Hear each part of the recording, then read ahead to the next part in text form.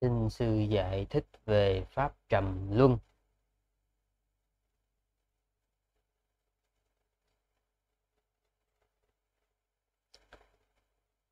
Về cái này đó, nếu như mà quý vị à, muốn biết một cách nó tường tận, một cách tường tận và nó rõ ràng thì à, quý vị à, vui lòng qua cái danh sách pháp kinh Trung Bộ cái bài kinh đầu tiên là bài kinh pháp môn căn bản ha.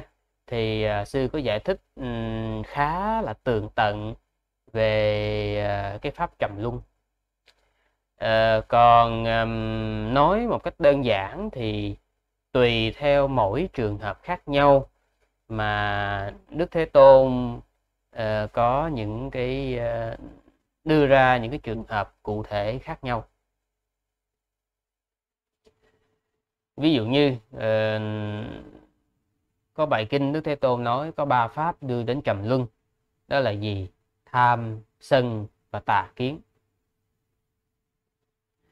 Uh, hoặc là có những cái đó là gì? Uh, dục truyền à, dục truyền sân truyền và tà kiến truyền. Đó là ba pháp đưa đến trầm luân. Ờ, thì uh, nhưng mà có những khi thì đức thế tôn chỉ nói đơn giản hơn thôi đó là gì? Có một pháp đưa đến trầm luân đó là gì? Tham ái. Tham ái là pháp đưa đến trầm luân. Đấy. Thì uh, tùy theo mỗi bài kinh. Thì do đâu chúng ta gọi nó là pháp trầm luân? Uhm... sở dĩ chúng ta gọi nó trầm luân bởi vì nó khiến cho chúng sanh trôi lăn trong dòng sanh tử mà cái gì nó khiến cho chúng ta trôi lăn trong dòng sanh tử đó là gì? Tham, sân và tà kiến. Mà chúng ta hay gọi là truyền cái đó. tham truyền cái, sân truyền cái và tà kiến truyền cái. Đấy. do tham, sân và tà kiến, chúng ta tạo các cái nghiệp thiện và bất thiện. Và trong số đó thì bất thiện nhiều hơn thiện. Và chính bởi vì chúng ta tạo các cái nghiệp uhm, cho nên nó mới dẫn đến chuyện chúng ta đi đầu thai ở đời sau kiếp khác. Mà chính bởi vì chúng ta có sự đầu thai ở đời sau kiếp khác cho nên chúng ta có thân và có tâm.